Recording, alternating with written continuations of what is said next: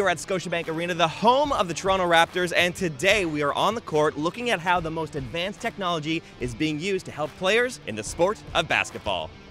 I was invited to this special behind the scenes event by Amazon Web Services. AWS has been working with a variety of professional sports leagues, including the NBA, to integrate new technologies that support not just the players and coaches, but also the fan experience and even sometimes improve the sport itself.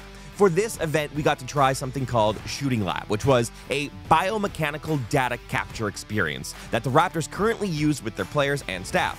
What does that mean? Well, they set up this array of cameras around the court. Then you shoot a basketball, and your precise technique is captured. Then you shoot a few more times, and using AWS powered AI models, biomechanics data like your release angle, stance width, elbow velocity, trajectory, and more are all compared across the series of shots. The end result is this detailed list of very usable stats and this visual representation showing your shot performance and consistency. With this type of detail, it takes some of the guesswork out of what coaches and players may need to work on, especially if a player is returning to the court after an injury. Andrew Koo is the director of the Sport Performance Lab with MLSE, which is the division of the company that explores different ways new technology can be used with their teams. Keith Boyarsky is the vice president of basketball strategy and research with the Toronto Raptors, working closely with that team specifically to adapt new technologies for the Raptors to use. We have Andrew and we have Keith, and we just had an amazing experience on the court. Can you tell us about Shooting Lab and what we got to do today? Yep. Um, shooting Lab is all about delivering um, an experience that helps you get better at shooting basketballs. Really simple thing, but really actually hard to do, right?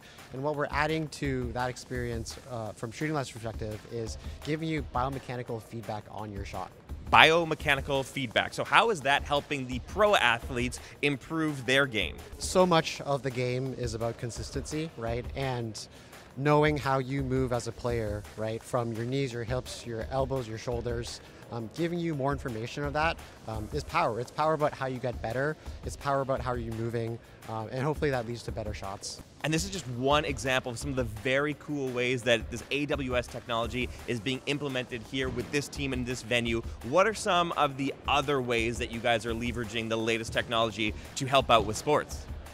Well, it's not just about shooting this biomechanical data. It's you know we're we're in the early stages right now, but we can see the future, and the future is around athletic performance, injuries, um, strategic elements in the game. There's, it's almost limitless. I mean, this really is an exciting time for us to be in the sport because this convergence of, you know, the sport and the data has never been, has never been greater, really.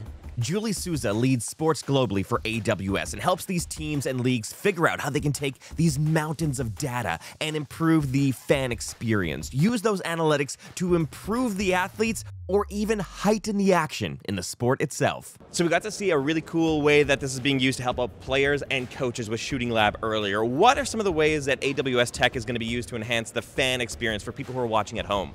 Oh, uh, I think there's going to be so much fun stuff coming down the pike, but we're launching right now with NBA around a new set of analytics that'll help drive engagement. We've got um, we've got names for them. So there's gravity, defensive box score, and shot difficulty or expected field goal percentage. So these are insights that'll help fans understand what they're watching, have a greater appreciation for the feats of athleticism that they're seeing.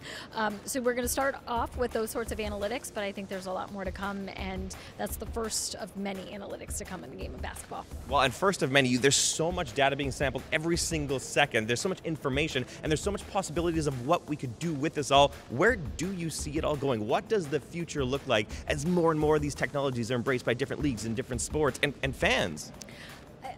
Such a good question. Um, I I love the fact that there all of this data just sort of is a limitless well that we can pull from. Um, and use cases we've seen across sports include player health and safety, officiating, equipment changes, game strategy, fan engagement. I love thinking about hey, if a fan wants to watch a really you know data laden broadcast, we could offer that to them, or a betting version of a broadcast, or an animated version that's using the underlying data to help drive augmentation on the screen. So I think we're going to see see more and more personalization built off of, or capabilities and personalization built off of this data.